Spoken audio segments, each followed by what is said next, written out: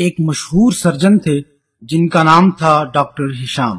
وہ جلدی سے ہوائی اڈے پر پہنچے تاکہ ایک بین الاقوامی علمی کانفرنس میں شرکت کر سکیں، جس میں انہیں میڈیکل کی فیلڈ میں حاصل ہونے والی اہم کامیابیوں پر اعزازات سے نوازا جانا تھا۔ پرواز شروع ہونے کے کچھ ہی دیر بعد اچانک یہ اعلان کیا گیا کہ آسمانی بجلی گرنے کی وجہ سے جہاز میں خرابی واقع ہو گئی ہے۔ اس لیے ہنگامی طور پر جہاز قریبی ہوائی اڈے پر لینڈ کرے گا۔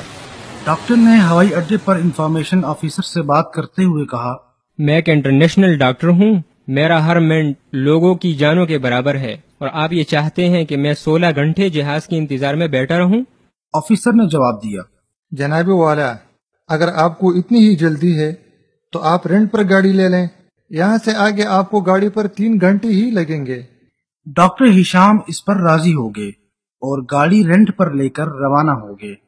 اچانک موسم تبدیل ہو گیا اور موسلادھار بارش شروع ہو گئی۔ ان کے لیے سامنے دیکھنا بھی مشکل ہو گیا، مگر وہ چلتے رہے۔ دو گھنٹے گزرنے کے بعد انہیں یقین ہو گیا کہ وہ راستہ بھٹک چکے اور تھکاوٹ بھی محسوس ہوئی۔ قریب ہی ایک چھوٹا سا گھر نظر آیا، اس کے سامنے ہی گاڑی کھڑی کر دی اور دروازہ کھٹکھٹایا۔ اندر سے ایک بوڑھی عورت کی آواز آئی۔ آپ جو کوئی بھی ہے اندر آ جائے دروازہ کھلا ہوا ہے۔ وہ اندر داخل ہوئے اور بوڑھی عورت سے اس کا فون استعمال کرنے کی اجازت چاہی۔ بڑھیا ہنسی اور کہنے لگی کیسا فون بیٹا؟ کیا تمہیں نہیں پتا تم کہاں ہو؟ یہاں نہ بجلی ہے نہ ٹیلی فون لیکن تم بیٹھو اور ذرا آرام کرو۔ ایک کپ گرما گرم چائے پی لو۔ کھانا بھی پڑا ہوا ہے وہ بھی کھا لو۔ تاکہ تمہاری جان میں جان آ جائے۔ ڈاکٹر ہشام نے بڑھیا کا شکریہ ادا کیا اور کھانا کھانے لگے، جبکہ بڑھیا نماز اور دعا میں مشغول ہو گئی۔ اچانک ڈاکٹر صاحب کی نظر ایک چھوٹے بچے پر پڑی جو بڑھیا کے قریب چارپائی پر بے سود پڑا سو رہا تھا اور وہ بڑھیا ہر دو نمازوں کے درمیان اسے ہلاتی۔ بوڑھی عورت کافی دیر نماز اور دعا میں مشغول رہی۔ یہ سب دیکھ کر ڈاکٹر صاحب یہ کہتے ہوئے اس کی طرف متوجہ ہوئے۔ خدا کی قسم آپ کی مہمان نوازی اور کریمان اخلاق نے مجھے شرمندہ کر دیا ہے اور اللہ سے امید ہے کہ وہ آپ کی دعائیں قبول کرے گا۔ انشاءاللہ۔ بڑھیا بولی۔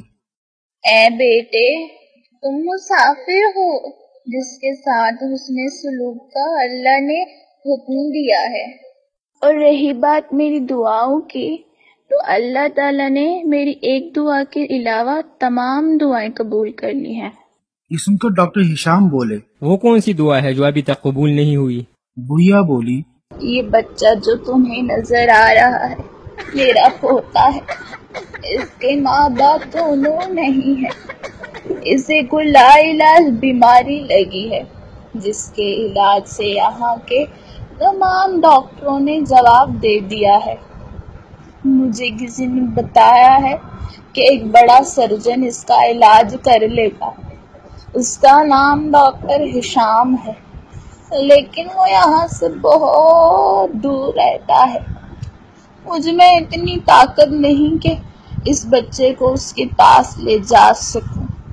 اور مجھے ڈر ہے کہ کہیں یہ بیچارہ جان سے ہاتھ ہی نہ دھو بیٹھے۔